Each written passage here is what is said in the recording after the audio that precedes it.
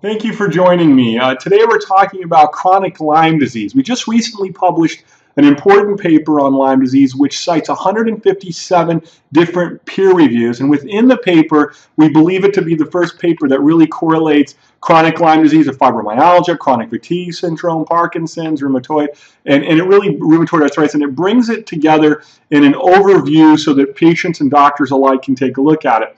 We published the paper in the Open Journal of Medical Microbiology, um, and inside the paper we talk about a few key things. I'm just going to give some highlights. You can, I'll leave a link so that you can visit and read the paper on your own time.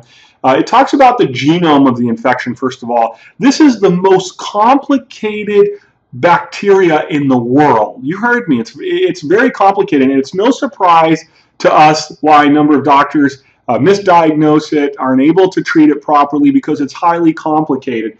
And I'm just going to point out a few key things within the paper that I think are quite interesting. We discussed the cellular process of the infection, but one of the big ones is the evasion of the immune system. Borrelia sheds its antigens, kind of like a snake that sheds its skin, making it hard for the immune system to spot and treat it effectively. And it just can can do this is shift its, its surface antigens in such a way that the immune system can sometimes be useless in treating it unless it's targeted properly. Um, and I think that's an important part. Also, in the understanding of the spread of the infection or the epidemiology, this is in many, many doctors' back, uh, backyards, and they don't even know it's there. And it's really important to understand, you know, the clinical diagnosis of the infection, how to do that, besides just what CDC gives us.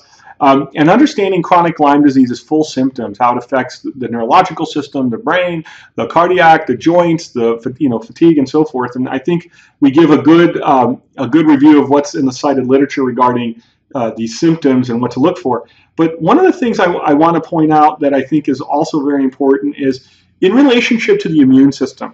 Understanding CD57, meaning CD57 is a natural killer cell particularly when that's depressed, you know, um, that can be another sign of Lyme disease. But what about looking at complement 4A, which can tell us whether or not a patient would respond to antibiotics at all? Which is quite interesting since this is the most common prescribed method of treatment. And of course, we believe there are smarter ways to deliver it and target it to patients, and it's what we've been doing for a long time, along with treating the antiviral, antifungal, uh, co- infections that are with the with uh, uh, Borrelia or Lyme disease itself. Also, understanding how to properly uh, uh, rebuild the immune system.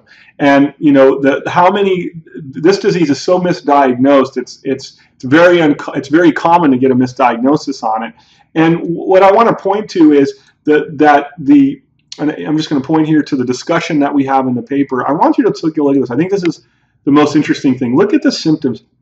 First of all, you see chronic Lyme disease, chronic fatigue, fibromyalgia, rheumatoid arthritis, and Parkinson's disease. And we could have added others here in the study. But look at the symptoms from fatigue to loss of concentration to joint pain, poor sleep, mood problems, depression, anxiety, which is very common, muscle skeletal neurological presentation, and muscle stiffness.